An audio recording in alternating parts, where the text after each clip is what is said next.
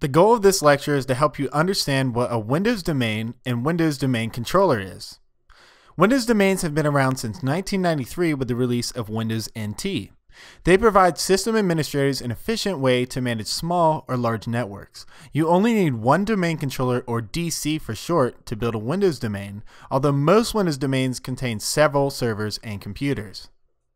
A domain controller is any server that has the AD, DS, or Active Directory domain services role installed. The server's job is to handle authentication requests across the domain. Domain controllers hold the tools Active Directory and group policy, among others. So when you need to create a new user account or change domain policies, this is all done from a domain controller. You can have several domain controllers within a domain, but there is only one primary or main domain controller. The primary reason for having more than one DC is fault tolerance. The critical information, like user and account information, is replicated between the DCs, so if one goes down, the client computers will switch to the other DC that is still functioning. Domain controllers use a tool called Active Directory Users and Computers, commonly referred to as AD or Active Directory.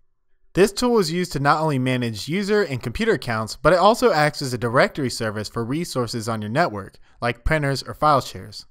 When a domain user searches for a new printer to install, they will find all the printers that have been added to the domain controller with Active Directory. AD is a tool to manage domain users, computers, printers, file shares, groups, and more. These are all considered AD objects. Groups contain members which can be any valid AD object, a user, a computer, etc.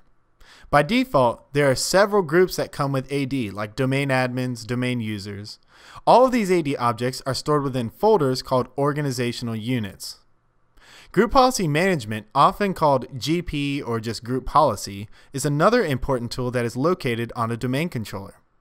It allows an administrator to manage all the domain users or domain computers remotely. Group policy uses GPOs or group policy objects to manage the settings of valid AD objects.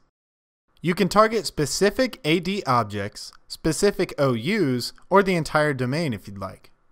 Basically, anything you want to create a custom setting for, you can do it with group policy. You can configure the desktop backgrounds for certain users or computers, manage what websites they can visit in Internet Explorer, manage security settings, or countless other settings with group policy. To recap what we've covered in this lecture, a Windows domain allows management of small or large computer networks.